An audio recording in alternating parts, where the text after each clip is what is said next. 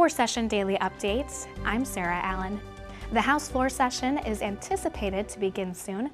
Let's take a look at what's expected to be addressed before we join members gathering for session.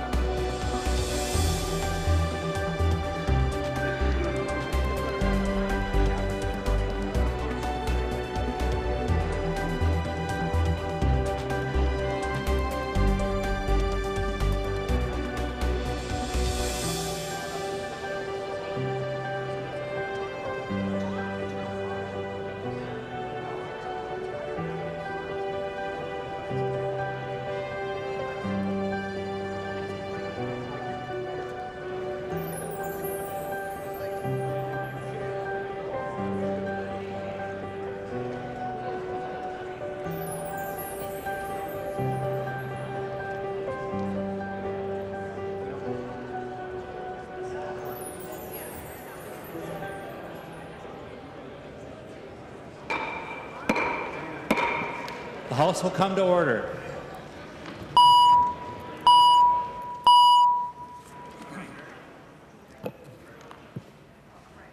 Prayer by the chaplain.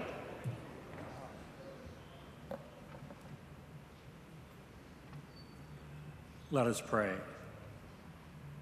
Almighty God, in your infinite wisdom, you created the world in all its beauty, vastness, and diversity. In your own image and likeness, you fashioned human beings and called us to be stewards of this world, reflecting your love and care for your creation. Though we are a diverse people, your love binds us all together as one. We ask your blessing on this body. As the star of the north guided and led explorers over the ages, so let your wisdom guide their deliberations. In the midst of their diversity of opinions and viewpoints, let your light shine upon them so that their decisions truly enhance the dignity of all the citizens of our state. May your wisdom be their guide and strength this day. We ask this in your name. Amen. Members, the, past, the chaplain for today is the Reverend Father Tim Baltus from the Church of St. Francis Xavier Catholic Church in Sartell, Minnesota. The Pledge of Allegiance. Members, please remain standing for the Pledge of Allegiance. I pledge allegiance to the flag of the United States of America and to the republic for which it stands, one nation under God, indivisible, with liberty and justice for all. The clerk will take the roll.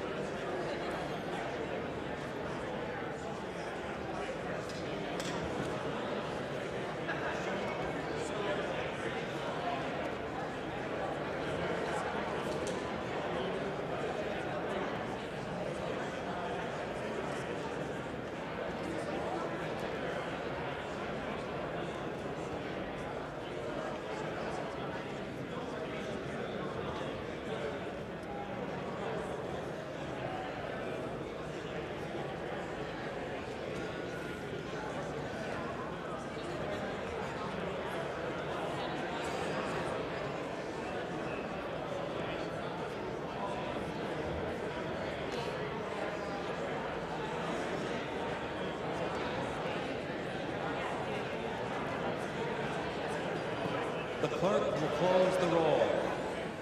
A quorum is present.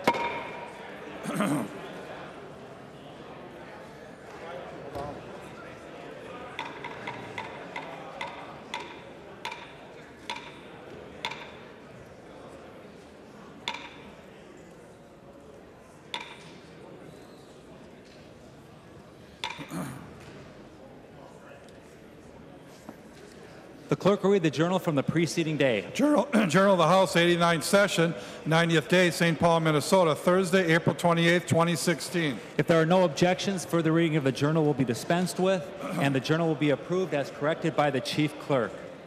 Hearing no objections, the journal is approved as corrected by the chief clerk. Comparison reports.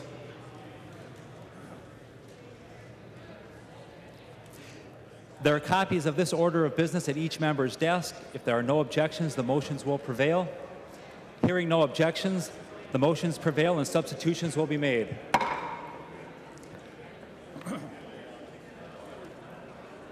Reports of standing committees and divisions. There's a copy of this order of business at, placed at each member's desk. If there is no objection, the reports will be adopted. Hearing none, the reports are adopted. Second reading of House files. Second reading, House File Number 3211. Second reading. Second reading, House File Number 3469. Second reading. Second reading, House File 3829. Second reading. Second reading of Senate files. Second reading, Senate File Number 2315. Second reading. Second reading, Senate File 2414. Second reading. Second reading, Senate File 2733. Second reading. Second reading, Senate File 2793. Second reading. Second reading, Senate File 2857. Second reading. Second reading, Senate File 2986. Second reading. Second reading, Senate File 3162. Second reading. Second reading, Senate File 3262. Second reading. Second reading, Senate File 2760. Second reading. The member from Blue Earth, Representative Cornish, for what purpose do you rise? A point of personal privilege. Point of personal privilege, Mr. Speaker. One moment, Representative Cornish, as we bring members back. Representative Cornish, state your per- point of personal privilege. Uh, Mr. Speaker and members, uh, I don't know if you noticed the uh, pie in the back, uh, but uh, today or tomorrow is my birthday, and I wanted to celebrate today because I didn't know if we had session tomorrow. So everybody can go back and help yourself to the pie. It comes from the Rapidan Dam from the dam store, and it's actually called the Dam Pie. So go ahead and have yourself some dam pie. Thank you very much.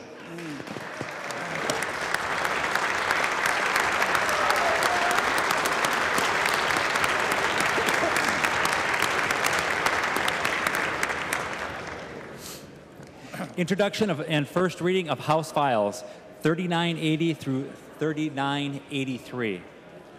Introduction to first reading of House Files 3980 through 3983. First reading of House Files 38, uh, excuse me, 3980 through 3983. Messages from the Senate.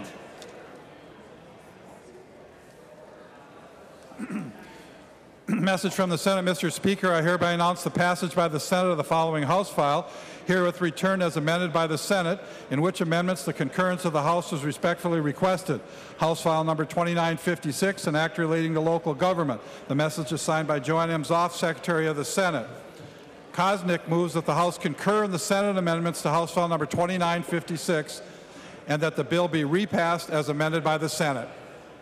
I recognize the member from Dakota, Representative Ko- Koznick.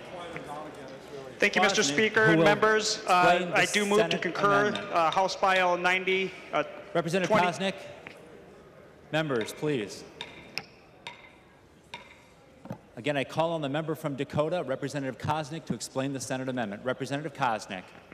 Thank you, Mr. Speaker and members. House File 2956. Uh, I, I do move to concur with the Senate language, House File 2956 with House File 2820 that we previously uh, both voted on through the, through the House. And we're simply uh, adding an additional representative on the Dakota County CDA Board uh, to conform with federal requirements and establishing uh, the Washington County Community Development Agency with the powers of their HRA and their EDA. So I move to concur. Any discussion on the Senate amendment? The member from Dakota, Representative Hansen. Thank you, Mr. Speaker. And this looks okay. Further discussion on the Senate amendment? Hearing none, all those in favor of the amendment signify by saying aye. Once again, all those in favor of the amendment signify by saying aye. Aye. Those opposed? The motion carries. There being no further discussion, and all those in favor of the motion, the clerk will give the bill its third reading. Third reading, House File number 2956, as amended by the Senate. Any further discussion on Senate File 2956? Seeing none and hearing none, the clerk will take the roll.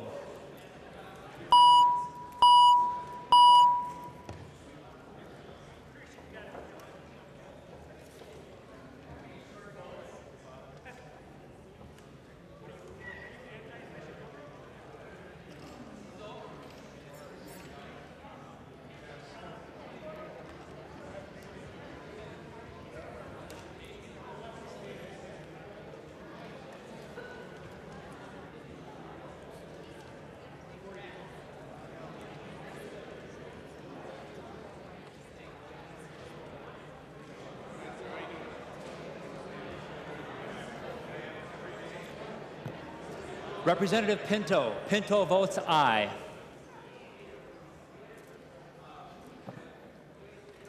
The member from Washington, Representative Ward, votes aye. The member from Dakota, Representative Atkins, votes aye. Members, please vote.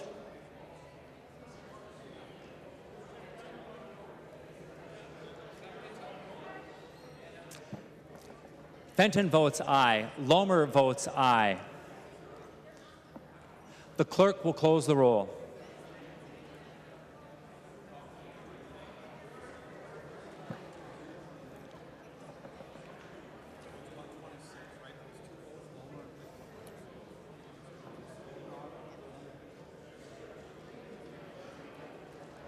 There being 126 ayes and zero nays,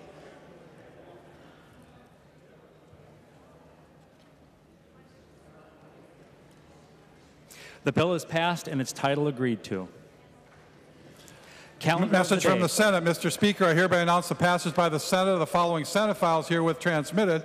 Senate files number 1372, 2626, 2744, and 2896. And the message is signed Joanne M. Zoff, Secretary of the Senate. First reading of Senate files. First reading Senate file number 1372, an act relating to state government. Hoppe moved that Senate file number 1372 and House file number 1520, now on the general register, be referred to the chief clerk for a comparison. If there are no objections, so ordered. First reading Senate file number 2626, an act relating to state government. The bill is being referred to the Committee on Government Operations and Elections Policy. First reading Senate file 2744, an act relating to education. Erickson moves that Senate file number 2744 and House file number 3204, now on the general register, be referred to the chief clerk for comparison. If there are no objections, so ordered. First reading Senate file number 2896, an act relating to human services. Kresha moved that Senate file number 2896 and House file number 3305, now on the general register, be referred to the chief clerk for comparison. If there are no objections, so ordered. Calendar of the day. The first bill on the calendar for today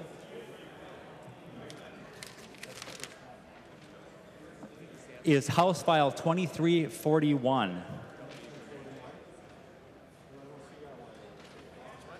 Excuse me, I got you, File. 2445, excuse me, members, 2445. House file number 2445, an act relating to health, number one on the calendar for the day, the first engrossment.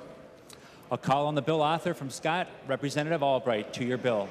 Thank you, Mr. Speaker. And members, uh, House File 2445 is a bill that would add a seat to the uh, Board of Medical Practice, allowing for an osteopath uh, to be involved in that.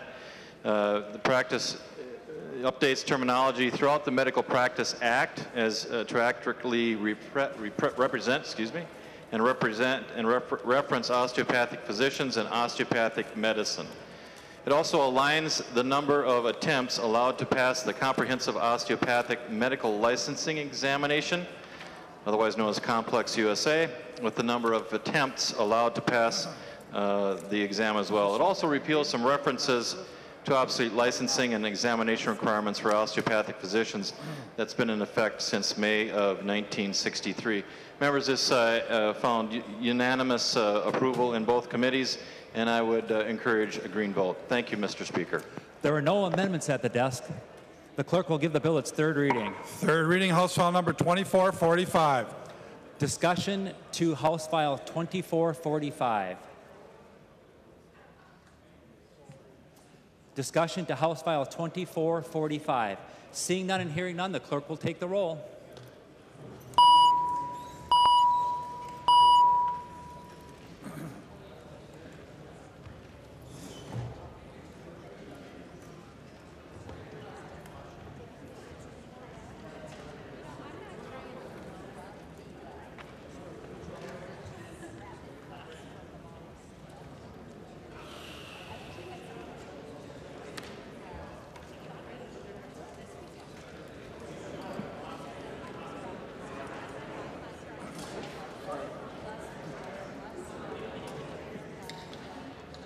Atkins votes aye.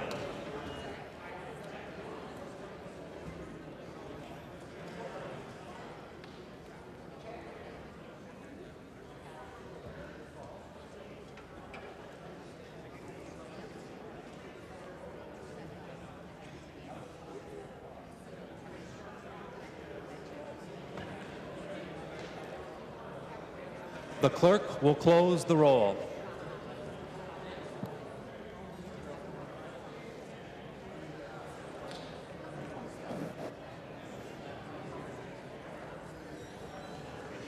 There being 127 ayes and zero nays, the bill is passed and its title agreed to. The next bill on the calendar for today is House File 2803. The clerk will report the bill. House File Number 2803, number two on the calendar for the day, an act relating to civil commitment, the first engrossment. I call on the bill's author, the member from Sherburne, Representative Zerwas. Mr. Speaker and members, House File 2803 deals with 72-hour holds and notification uh, for law enforcement. Currently, in state statute, as someone is released from a 72-hour hold, that facility is required to contact law enforcement upon their release. However, if they are not uh, admitted into the hospital or end up leaving prior to the admission process, or if they leave uh, against doctor's advice, basically run away from the facility prior to the 72 hours, there was concern about whether or not notification during the 72 hour or prior to it starting would violate HIPAA. This clarifies that it in fact does not. There are no amendments at the desk. The clerk will give the bill its third reading. Third reading, House File Number 2803. Members' discussion to House File 2803. Any discussion to House File 2803? Seeing none and hearing none, the clerk will take the roll.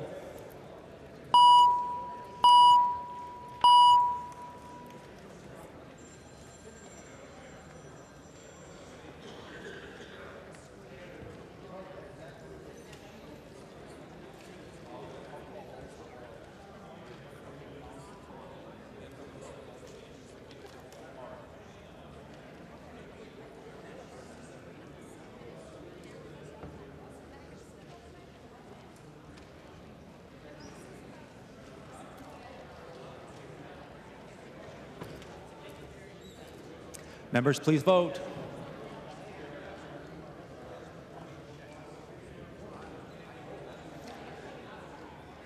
The clerk will close the roll.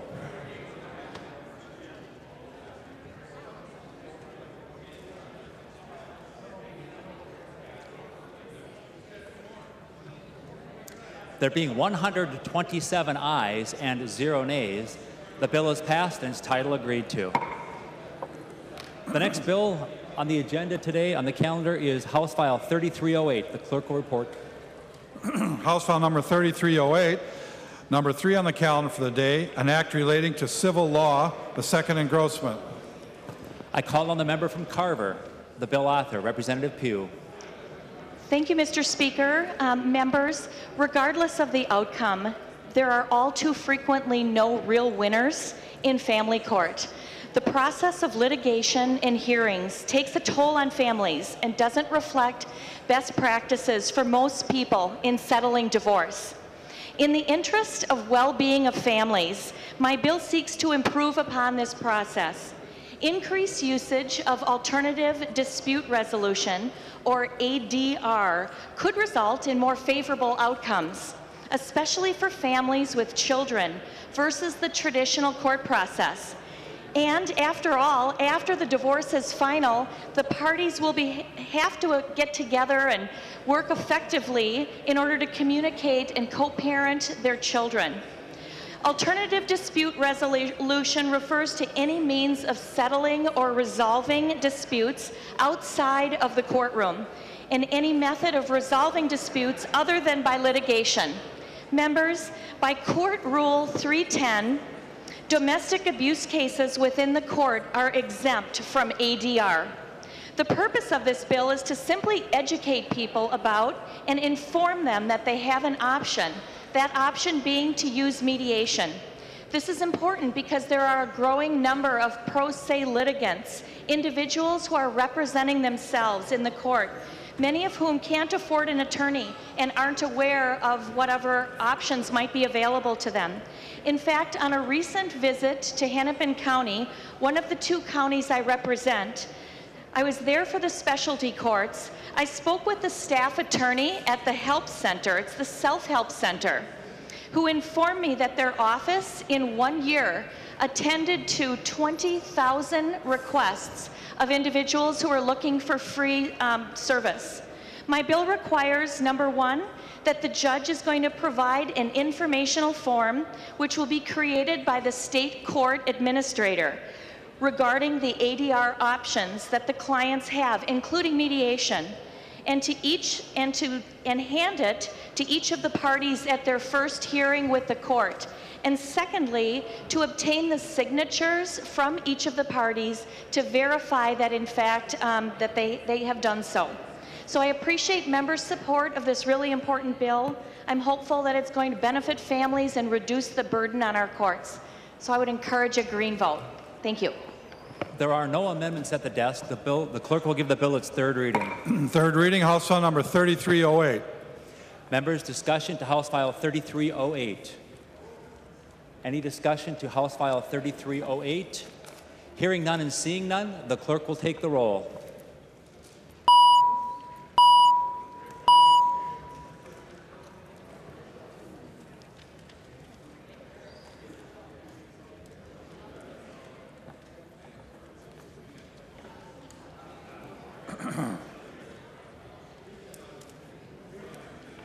Members, please vote.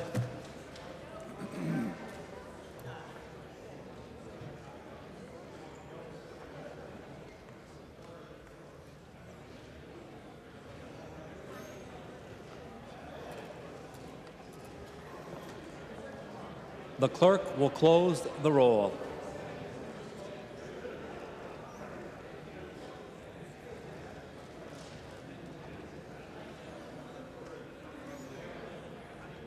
There being 127 ayes and zero nays, the bill is passed and its title agreed to. The next bill on the calendar is House File 3482. The clerk will report the bill. House File Number 3482, number four on the calendar for the day, an act relating to criminal justice, the first engrossment. I call on the bill author, the member from Sherburne, Representative Zerwas, to explain the bill. Mr. Speaker and members, House File 3482 deals with statute of limitations for identity theft convictions. So currently, in a host of white collar crimes, there are set in statute of limitations five years. However, identity theft does not include a five year statute of limitations. It, include, it has a three year statute of limitations. In committee, we heard some very compelling testimony from a family that after years of their elderly parents falling victim to an identi- identity theft scam found out only after their house was being foreclosed upon that the theft had actually been occurring for years. And because of that delay, they were unable to be charged under the felony identity theft statute. So this change uh, that was brought to us by the Hennepin County Attorney's Office would increase the statute of limitations from three years to five years. I call on the member from Hennepin. Hennepin from Hennepin, Representative Hilstrom. Thank you, Mr. Speaker and members. Uh, if Representative Zerwas would yield to a question. He will yield. Representative Hilstrom. Thank you. Uh, Representative Zerwas, it's my understanding that this got a late fiscal note. Can you tell me how you address the fiscal cost? The member from Sherburne, Representative Zerwas. Mr. Speaker and members, it did get a late uh, fiscal note, which, ca- which uh, caused us uh, to recall this from the floor and bring it back in front of Ways and Means. Uh, we heard it in Ways and Means and then uh, passed it out of Ways and Means back uh, to the floor today. The member from Hennepin, Representative Hilstrom. Thank you, Mr. Speaker. And uh, members, given that Representative Zerwas has addressed the uh, fiscal cost in this bill, I uh, strongly support this. Uh, members, as folks are become victims of identity theft or when there are large amounts of money that are taken, um, it's sometimes very difficult to actually uncover this. And so sometimes large quantities of money are taken um, and if you don't know that someone has actually taken over your identity and taken out debt in your name, sometimes it takes it a little longer to find it. Um, it makes it consistent with other statute of limitations when you have over $35,000 worth of theft, um, and I would encourage members to support it. There are no amendments at the desk. The clerk will give the bill its third reading. Third reading, House File Number 3482. Additional discussion to House File 3482. Discussion to House File 3482. Seeing none and hearing none, the clerk will take the roll.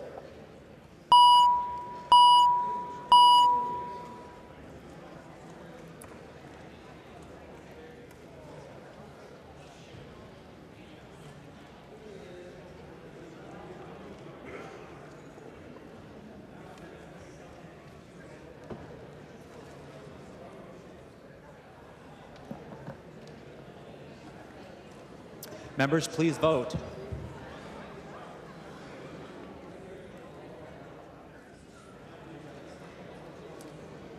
The clerk will close the roll.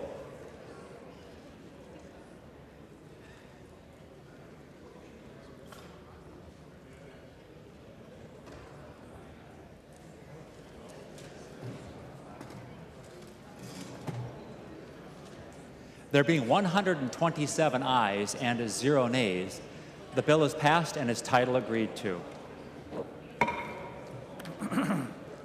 the next bill on the calendar for today is Senate File 2227. The clerk will report the bill. Senate File Number 2227, number six on the calendar for the day, an act relating to public safety, the first engrossment.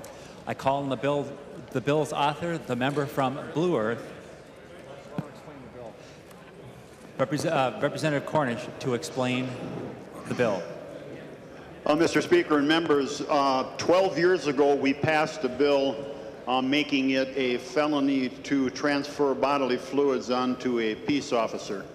Uh, everything was going along fine until last year um, there was a Supreme Court decision saying that a physical assault had to take place at the same time as uh, the introduction of the body fluids or the transfer of the body fluids uh, onto the officer. And so this is clarification language. It does not increase or enhance the penalty. It does not redefine bodily fluids. The only thing that this bill does is uh, clarify the language to make it possible to charge the person like the bill was originally intended, I found out, from the law enforcement that sponsored it that a transfer of bodily fluids onto the officer would result in a felony. So this fixes that and uh, makes it a separate offense um, or could be combined together with an assault, but it doesn't have to depend on the assault. This went through the Senate uh, unanimous on the Senate floor. It's 12 years old. We're just clarifying it, and it includes judges, security personnel, bailiff, correctional guards, uh, the whole gamut. And I'd uh, stand for any questions or sit for any questions if you wish. There is an amendment at the desk. I call on the member from Ramsey. The clerk will report the amendment. Lesh moves to amend Senate File Number 2227, the first engrossment, and the amendment is coded A1. I call on the member from Ramsey, Representative Lesh, to explain the amendment. Thank you, Mr. Speaker. Members, this amendment, uh, the A1 amendment, bans shock cuffs in the state of Minnesota. And shock cuffs, or stun cuffs, as they're commonly called also, if you don't know what they are, um, you're familiar with the taser, right, where you either shock someone in the side by hand, or you can shoot them with the probes, and it hits them and it shocks them and they fall down. Um, it's uh, a non-lethal form um, to control a suspect or a prisoner.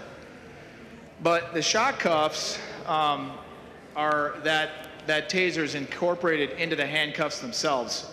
Um, but it's not just like any other uh, taser, uh, because aside from the fact that you uh, don't need to actually take an affirmative action to take out the taser and shoot someone or take out the stun gun and stun someone.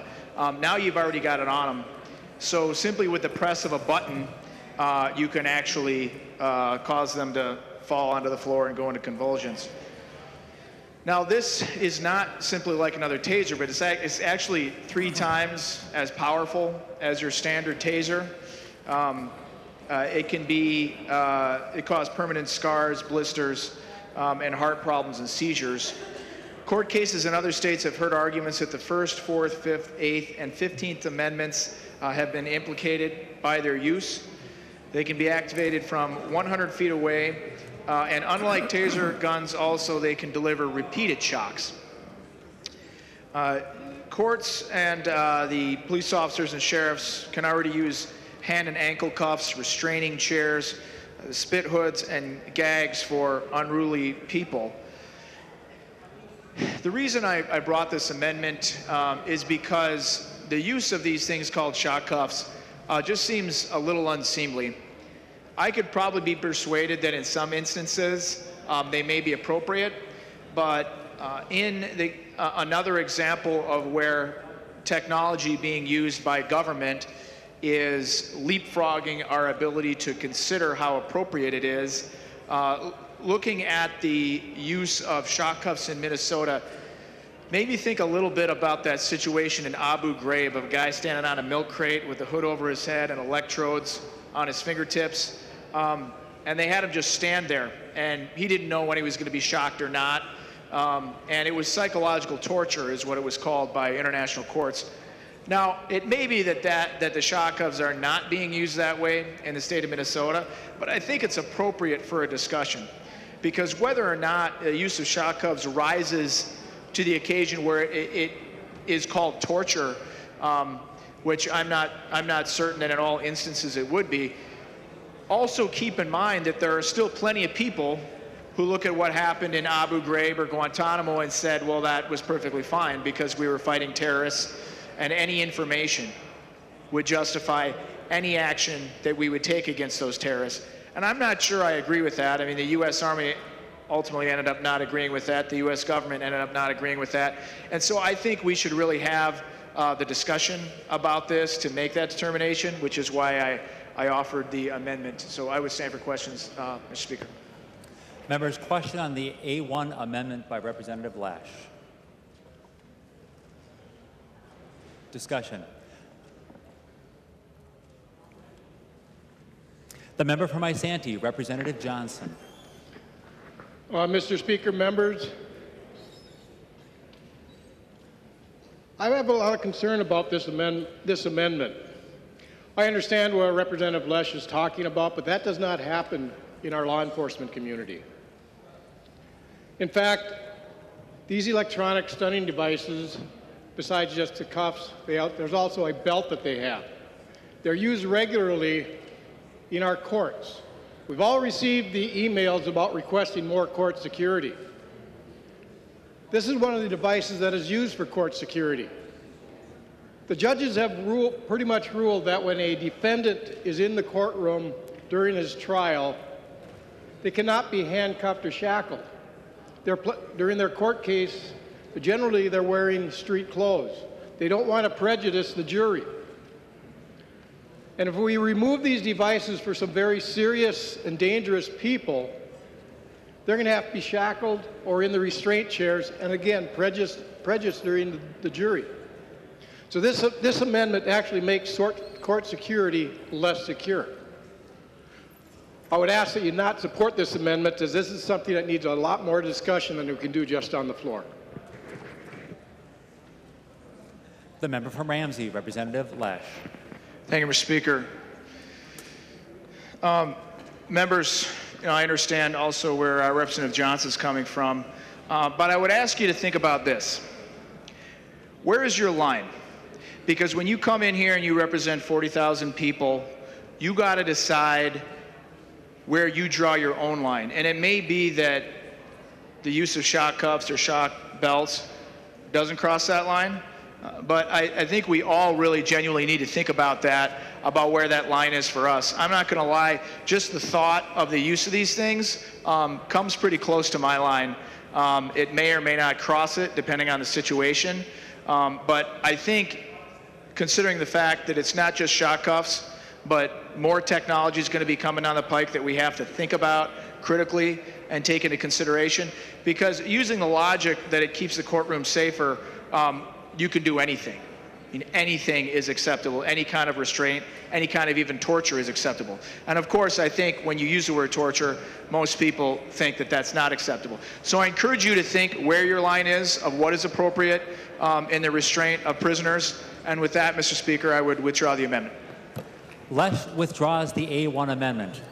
There are no other amendments at the desk. The clerk will give the bill its third reading. Third reading, Senate File Number 2227. Members, discussion to Senate File 2227.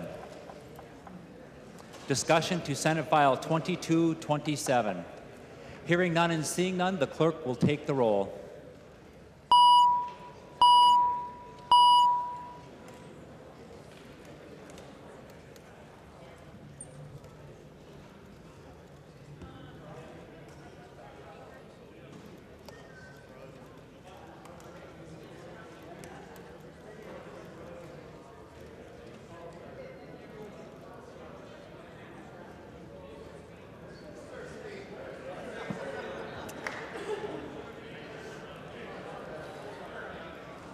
Welcome.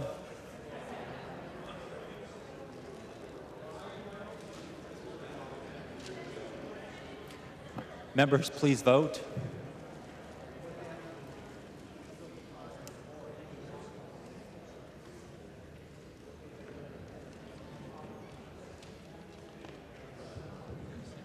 Members, please vote. All those members wishing to have voted have voted. The clerk will close the roll.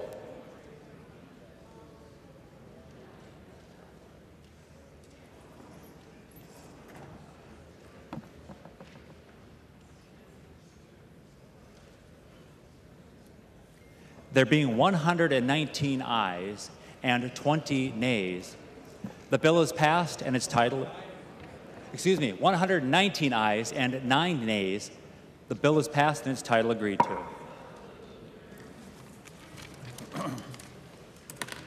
Reports from standing committees and divisions. Peppin from the Committee on Rules and Legislative Administration, pursuant to Rules 1.21 and 3.33, designates the following bills to be placed on the calendar for the day for Wednesday, May 5, 2016, and establishes a pre-filing requirement for amendments offered to the following bills. House File Number 71, 2683, 2833, 2954, 3167, 3423, and 3944, and Senate File Number 3084. Motions and resolutions. There are copies of the non-controversial motions at the House desk and online. If there is no objections, we will take these motions first. Hearing none and seeing none, all those in favor, the motion prevails. Announcements.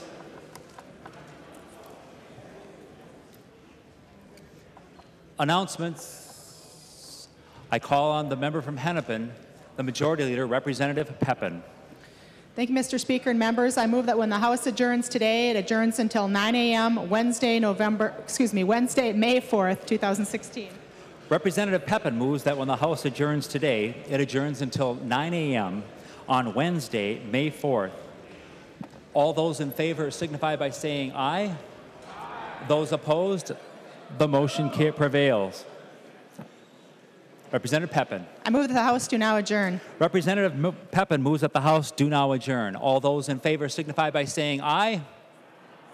Those opposed? The House is adjourned until 9 a.m. on Wednesday, May 4th.